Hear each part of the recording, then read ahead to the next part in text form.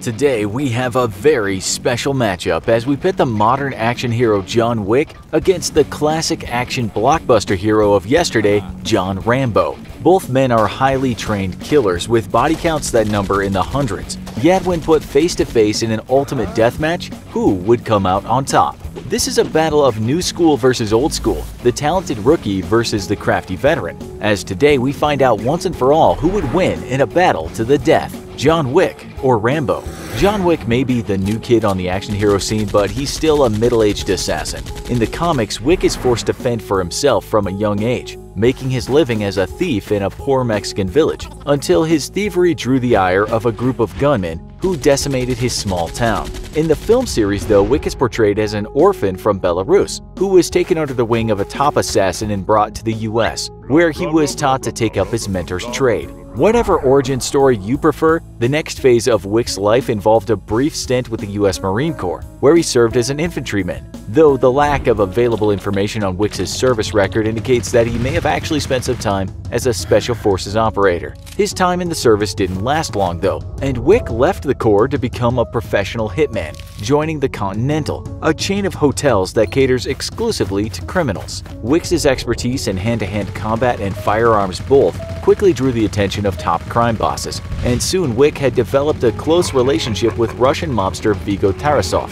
working as his top cleaner. One day, though, Wick met a woman and after falling in love with her, asked to be released from his duties as a killer. Tarasov agreed, but only if Wick could accomplish an impossible task eliminate all of Tarasov's rivals in just one night. Much to Tarasov's surprise, Wick was able to complete the seemingly impossible task and looked forward to spending his life with his new wife. Sadly, she would soon die from cancer and gift him a dog to help ease his grief. Wick and his dog would live happily ever after, and nothing horrible ever happened to that dog. Just kidding. You know perfectly well what happened and what a mistake that was. Despite being on the slightly older end of middle-aged, Wick is still in peak physical condition, as is befitting a man of his skill. He's adept in multiple martial arts and is a master marksman, fully versed in the operation of various firearms including pistols, rifles, and shotguns. He's also a skilled sharpshooter and is as proficient with a long gun as he is in any close-range weapon. If forced into hand-to-hand -hand combat, Wick can call upon a wide range of disciplines including Judo, Sambo, Jiu-Jitsu, Brazilian Jiu-Jitsu, Aikijutsu, and Krav Maga.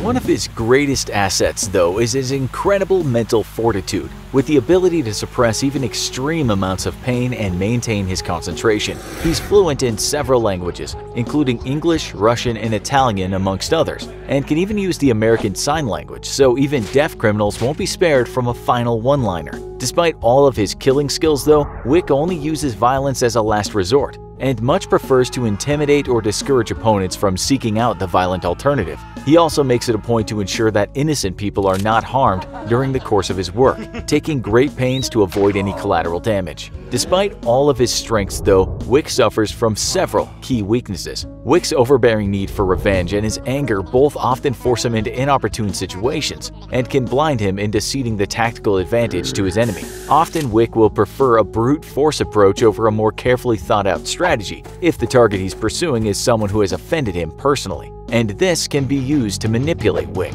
In the other corner is John Rambo, the Cold War-era action hero and all-around American badass. Born in Bowie, Arizona, Rambo had a tough childhood and his mother died while he was still young. This left him working on his family's ranch with a father who was an alcoholic and often abusive. With no friends and no family life to speak of, Rambo sought out the companionship of the Native American elders living nearby, and they taught Rambo how to hunt and use their traditional weapon, the bow and arrow. They also taught Rambo tribal hand-to-hand -hand wrestling and striking techniques, forging the budding teenager into a formidable opponent. One day, shortly before receiving his draft notice for the Vietnam War, his drunk father attacked him with a knife trying to kill him. Rambo disarmed his father and shot him with an arrow, almost killing him before running away. With no other options in life, Rambo enlisted with the U.S. Army.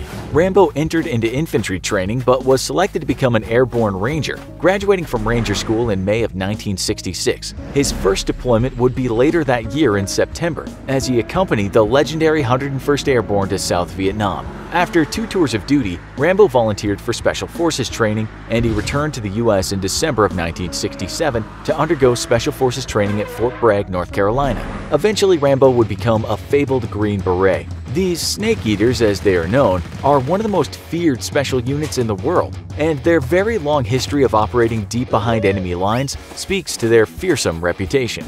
Rambo's service throughout the Vietnam War would remain classified to this day, though it is known that he often operated so deep behind enemy lines that extraction by foot was the only way home. At one point, he and his team were captured though and all of the men endured extreme torture until most of them had died from their wounds. Rambo bore his torture without even spilling his secrets, spending months living in a hole dug in the ground, with feces and urine frequently thrown on him by his captors. To escape, Rambo purposefully gave himself dysentery, and when his guards went to fetch help, Rambo made the escape, stumbling back to friendly lines from deep in enemy-held jungle and burning with fever. Rambo would end his tour of service in Vietnam with 59 confirmed kills, many more unconfirmed, two Silver Stars, four Bronze Stars, four Purple Hearts, the Congressional Medal of Honor, and the Distinguished Service Cross. Rambo is a veteran of one of the nastiest wars the United States has ever waged. He's an expert marksman, is fond of using a modern compound bow to achieve stealthy kills. He is very physically strong, able to fire an M60 machine gun from the hip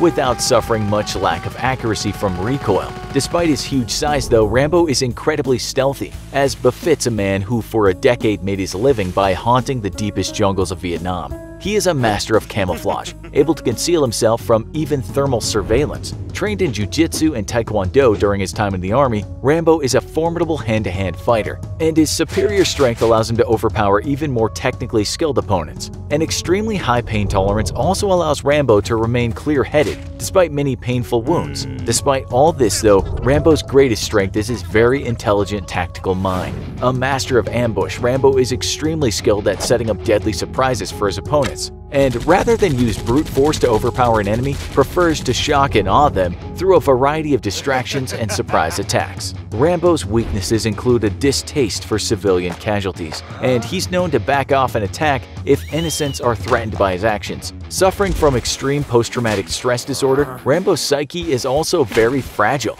and he is taken to living as a hermit isolated from the world in order to deal with the very painful memories of his own past. Despite seeing them as necessary evils, Rambo deeply regrets every kill he has ever committed and seeks to redeem what he can of his soul through using his talents for violence for good in his final years. So we have a modern urban assassin up against the feared white ghost of Vietnam's jungles. Who would come out on top? As in most fights, this confrontation would very much rely on the environment. Rambo's extensive training in the wilderness would give him an unparalleled advantage if fighting outside of a population center, where the very environment can become a deadly foe. John Wick, however, is much more capable of navigating the urban landscape, and in a battle between the two trained killers seeking to remain hidden from their quarry until the last possible moment, Rambo would stand out like a sore thumb in a crowded urban metropolis. Both men are extremely skilled with firearms, and yet neither show a preference for one type of weapon over another, except for Rambo's use of bows for quiet kills. This means that both combatants are going to be bringing the weapon best suited for the task at hand to the fight,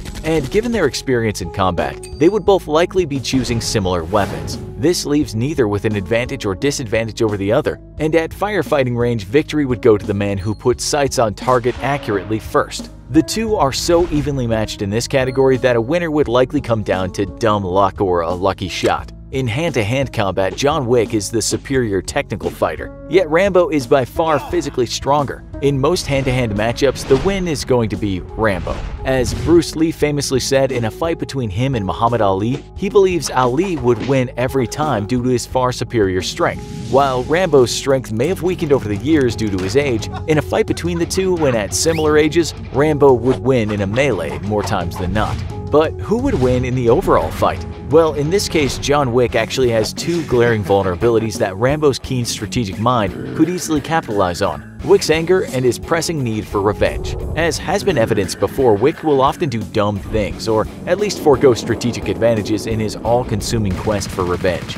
This would be easily exploited by Rambo, who is a keen thinker and has a background in defeating his enemies psychologically before doing so physically. Having learned how to set up ambushes and manipulate his enemies in the deep jungles of Vietnam, Rambo could easily manipulate Wick into a deadly ambush by perhaps killing his new dog and taunting Wick into retaliating. Wick's headlong charge after Rambo would be his undoing, and at the end of the day, Rambo proves that age and experience and keeping a cool head in combat always prevails over sheer aggression. Do you agree or disagree with our verdict? Why or why not? Let us know in the comments. And if you enjoyed this video, check out one of our other epic Who Would Win matchups, or check out our You Versus series, as we pit you, the average Joe, against all sorts of bad guys and monsters. And as always, don't forget to like, share, and subscribe for more great content.